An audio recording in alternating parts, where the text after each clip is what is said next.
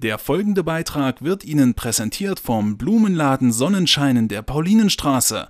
Kreativfloristik für alle Anlässe. Gegen 10 Uhr versammelten sich in Blankenhain die Wanderfreunde und wollten aufbrechen zur Hubertushütte, um mit auf Goethes Spuren zu wandeln. Unsere Wandergruppe macht das jedes Jahr. Aha. Wir waren vergangenes Jahr schon dabei und wir wandern jeden Sonntag und haben uns das diesmal für heute wieder ausgewählt. Ich hab's, das eine Jahr bin ich alleine gelaufen. Da habe ich mal auf, auf, auf, auf, auf Zeit gelaufen. Da habe ich es in drei Stunden geschafft. Und wie geht's dann zurück? Nur mit dem Bus. Auch mit dabei Wanderführer Ludwig Schmidt, auch wenn es für ihn das letzte Mal war. Weil wir jetzt schon mit 71, da ist das für mich dann auch schon anstrengend und deswegen ist das das letzte Tour. Ich habe das extra noch mal auf äh, Bitten von äh, der Stadtverwaltung gemacht und mache ansonsten nur noch Wanderleiter mit kleineren Touren. Zu den rund 200 Startern aus Weimar sollten im Laufe des Vormittags weitere Wanderer, unter anderem aus Bad Berka und Blankenhain, hinzukommen. Wanderführer Schmidt eröffnete die Wanderung mit einem eigens geschriebenen Gedicht und gegen Viertel elf machte sich die Gruppe auf den Weg. Kurze Zeit später kommen die ersten Weimarer Starter bereits in Saalborn an und die meisten unter ihnen sind nicht das erste Mal dabei. Mir gefällt's gut. Ich mache das immer gerne mit. Ja. Ja? Ja, jedes Mal. Ich bin alter Laufbursche. Ah, das wievielte Mal sind Sie jetzt dabei? Hier, fünfte, sechste Mal. Ich habe 25 Mal Rennsteiglauf immer mitgemacht. Und seit ich 70 bin, statt des Rennsteiglaufes laufe ich jetzt. Das ist das fünfte Mal jetzt. Und auch die moderne Technik hat beim Wandern Einzug gehalten. So zwitschert dieser holländische Wanderfreund live ins Internet. Ich schreibe jetzt auf Twitter, dass ich jetzt hier bei der zweiten Haltestelle war für den zweiten Stempel in Saalborn. Gebe das dann noch ein, sodass die Leute, die mich folgen, also meine Followers, sehen, wo ich bin. Nur einen Steinwurf entfernt, im Dambersgrund, traf man einen alten Bekannten. Johann Wolfgang von Goethe, immer gern zu einem Foto bereit, informierte die Wandersleut über seinen Weg nach Großkochberg. Halbzeit dann an der Hubertushütte nahe Blankenhain. Hier gab es den vierten von acht Stempeln und die erste große Raststelle.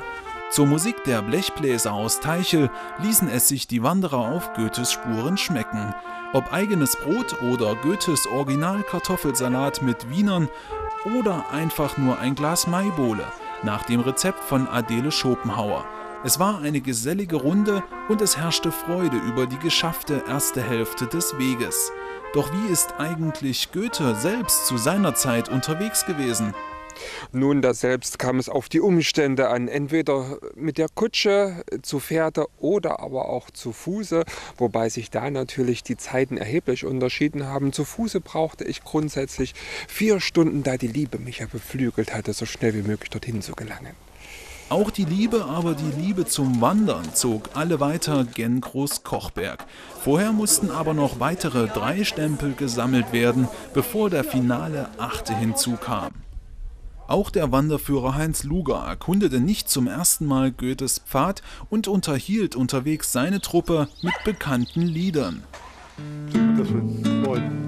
Auf, du junger Wandersmann, jetzt so kommt die Zeit heran, die Wanderzeit, die gibt uns Freud, wollen uns auf die Fahrt begeben, das ist unser schönstes Leben, große Wasser, Berg und Tal, anzuschauen überall.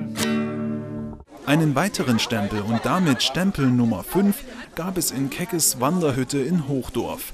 Und was sicherlich die wenigsten wussten, Inhaber Ralf Keckek selbst hat es 2007 einmal ausprobiert, Goethes Zeit von Weimar nach Großkochberg zu schlagen. Sagen wir der normale gemütliche Wanderer, der läuft äh, vor sich hin und der sucht dann auch noch das Schild, wo es weitergeht. Aber kurz vor Luisenturm äh, hätte noch ein kleiner Hinweis sein müssen, dass ich da schon rechts ab hätte gehen müssen. Ja. So hat er dann doch 22 Minuten länger als Goethe gebraucht. Etwa eine Stunde mehr hat der zweite dieses Mal gebraucht, um von Weimar nach Großkochberg zu kommen. Naja, mit Pausen fünfeinhalb Stunden. Fünfeinhalb Stunden etwas langsamer als Goethe. Was sagen Sie denn so Goethes Zeit? Ist die überhaupt schaffbar? Also ich achte den Goethe sehr, aber als Dichter, als Wanderer äh, scheint mir das so in das Reich der Fabeln zu gehören, diese Zeit. Richtig anstrengend war es für den holländischen Wanderfreund. Er hat sich aber schon etwas ausgedacht. Es tut gut. Ich fühle mich jetzt gut. Es war schwer. Blankenhain hoch war sehr schwer. Und ähm, ich möchte eigentlich die ganze Goethe-Wanderung mal in ein anderes Gebiet verlegen. Wenn Sie das mal nach Holland bringen würden, da ist es flach, dann machen wir die 28 Kilometer lachend. Froh, es geschafft zu haben, waren sicherlich alle an diesem Maisamstag.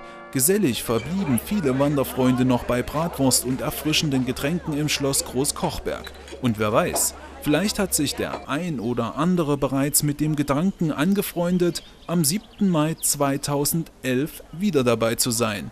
Aber überlassen wir jetzt die Schlussworte dem großen Dichter und Denker Johann Wolfgang von Goethe. Also ich habe eine hochmotivierte Wandertruppe erlebt, äh, die mit viel Freude an die ganze Sache herangegangen sind. Äh, die Durchführung war sehr gut organisiert, überall war alles vorbereitet. Äh, man hat immer nur Wanderer mit einem freundlichen Lächeln auf den Lippen gesehen. Meine Person ist immer gut aufgenommen worden und ich kann sagen, es war ein voller Erfolg. Wenn man heute hier hineinschaut und sieht, wie zufrieden die Leute sind, dann kann man sagen, es war ein gelungener Tag.